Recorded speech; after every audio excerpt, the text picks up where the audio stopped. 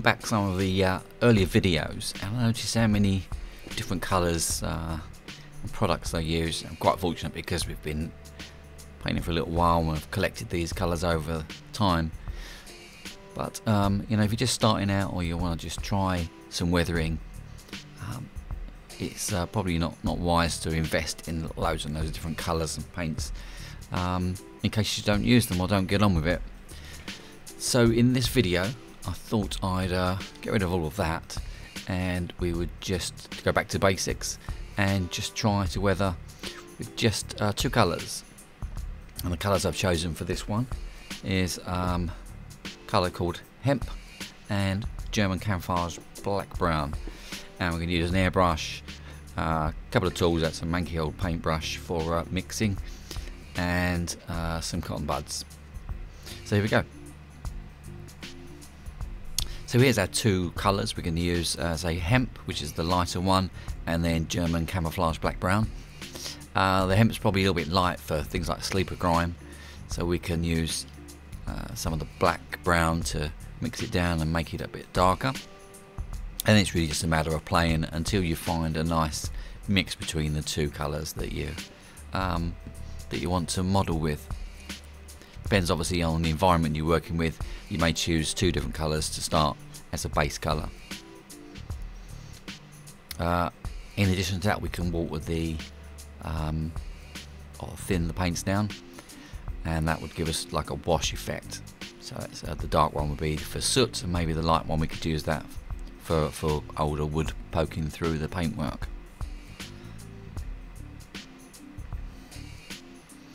So here's the wagon we're working with today. This is from um, Mainline. Um, these got really nice wood grain under the paintwork you can see. But the first thing we're going to do is to um, just take the edge off of the um, off of the livery using this fiberglass pen. So basically, as we brush it over, uh, use a little bit of force, it will take the top of the uh, of the paintwork off very slightly, and it starts to reveal things like the wood grain and some of the uh, relief details. just gives a nice warm distressed effect. If you're painting um, weathering onto your model, you really don't want your your livery to be as pristine as it um, as it comes out of the box. It's kind of counterintuitive, I guess. So we're just going to take the edges off, some of the sharp corners, um, and just play around until uh, until you like it. You can take complete letters out if that's what you choose.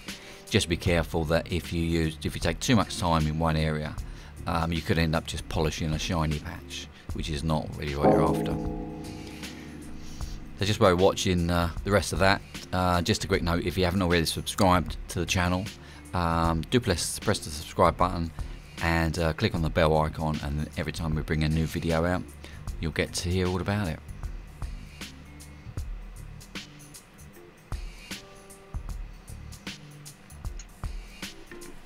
So our first uh, layer is going to be using hemp straight out of the uh, the bottle. We're not going to mix any colours. We're just going to do a really light coat around this relief detail.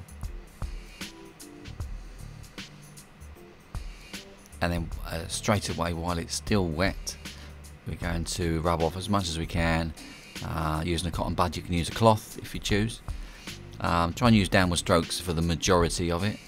He says um, doing upward strokes um, and this will simulate sort of rain running down the side and leaving dust uh, and dirt and grime underneath the rails and uh, in the detail.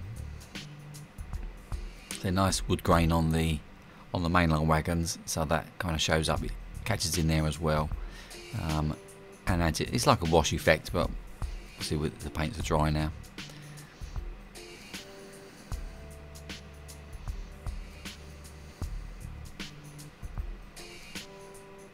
We need to do the ends and uh, obviously all the four sides as well.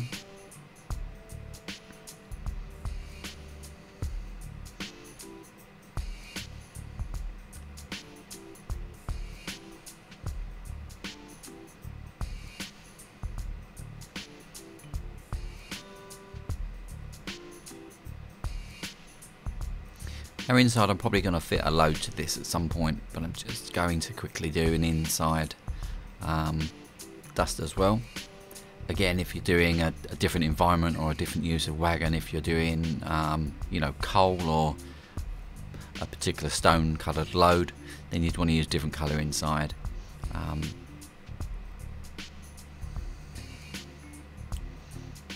I'm just using this hemp just because it, it shows up quite nicely.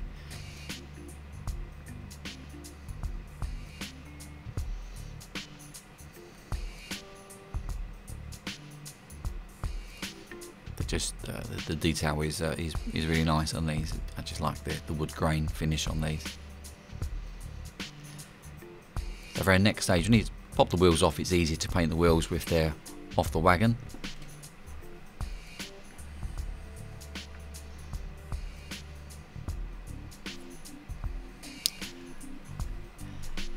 and then we've used the hemp uh, just darkened down just a little bit um, probably about 50-50 and that's just going to be our, our lower sort of sleeper grime layer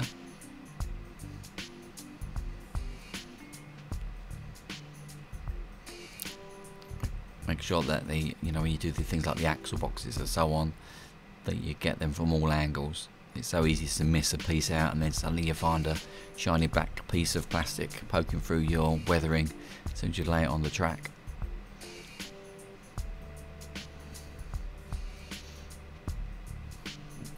So we're going to go along the along the edge of the chassis and just slightly up into the wagon as if summer's splashed up onto the wagon, especially around the edges, around the um, around the ends. Um, it would normally be a little bit higher there.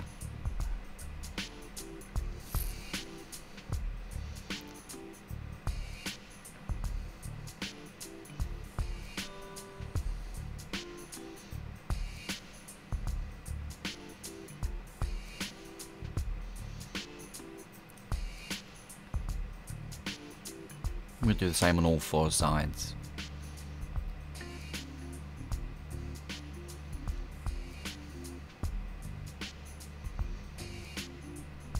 I'll come back to those in a second. I'll do them off camera, you don't need to see me doing all the sides.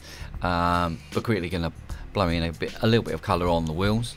This is the same as the Sleeper Grime uh, that we've added to the chassis.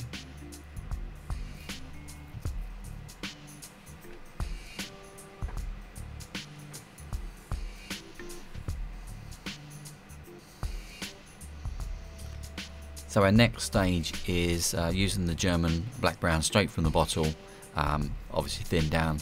We're just going to add it to the around the um, the axle and the suspension, just uh, to add a bit of more sort of darker grime, a bit of uh, a bit of interest to the colour. And then along the top of the uh, like the top brows of the wagon as well.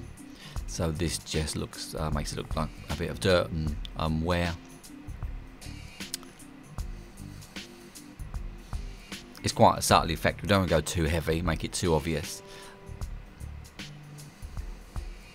Let's just go over it, uh, give it a few passes, very uh, low pressure on the airbrush, just so it doesn't sort of spurt out in in one go. And I think I've thinned this back um, more than I usually would, just so it doesn't actually give a coverage. You know, it doesn't cover the colour completely. So we've done all the four sides and we've added, just to add the wheels back in now.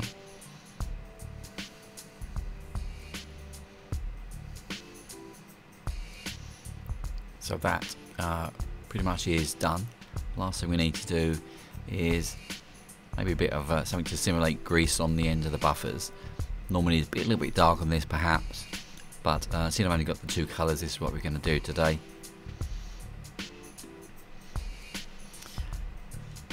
And that's pretty much it. Um, just just for an example just going to add a load into this one. This is our uh, medium grade um, coal from Hattons.